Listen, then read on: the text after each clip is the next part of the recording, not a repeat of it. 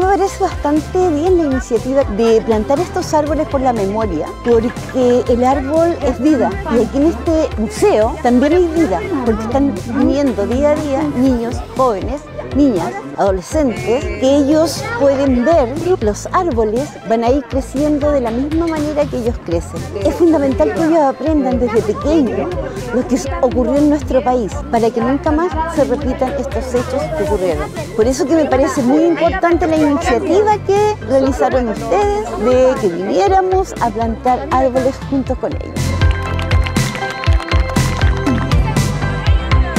Estamos muy contentos de participar en esta actividad con niños y niñas plantando este bosque de la memoria en un lugar donde se honra el conocimiento. Sin conocimiento no es posible que nos acerquemos a nuestra historia. Sin conocimiento no es posible que además podamos proyectarnos en base a evidencia científica, en base a reglas esenciales de cualquier debate democrático.